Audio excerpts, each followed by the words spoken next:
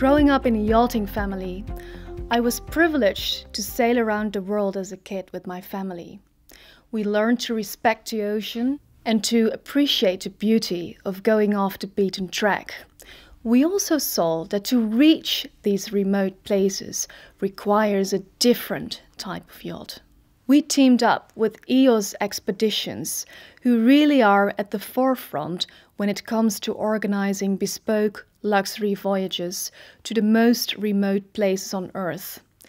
They provided us with real life operational experience from the most extreme expeditions. We combined this with the technical know how of Damen, relying on our robust knowledge of icebreaking vessels, and with the experience of Amels in the luxury yachting industry. The result?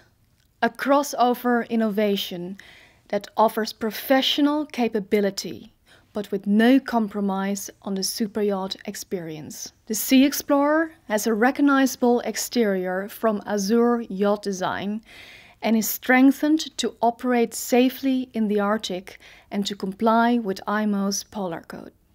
It's all about autonomy. It's not only how far you can go, it's for how long. The SeaXplorer has an autonomy of up to 40 days. That means more storage, more provisions, more staff, more crew. She has to be able to bring more of everything.